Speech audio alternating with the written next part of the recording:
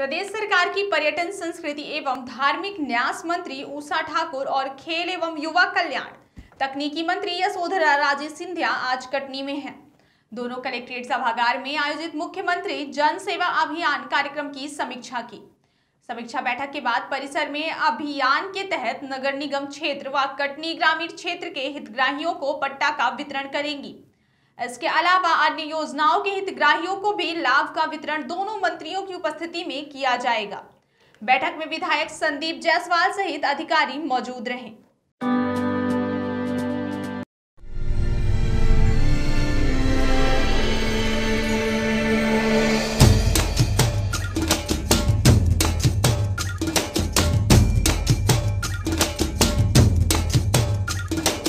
इतने सुंदर सुंदर गहने लाए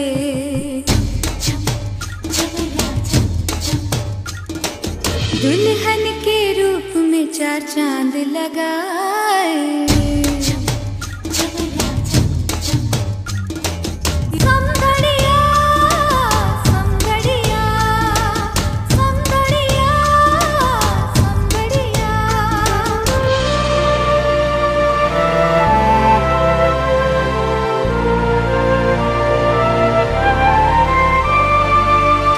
के रिश्ते को और गहरा बनाए। समदड़िया आभूषण का जादू है छाए।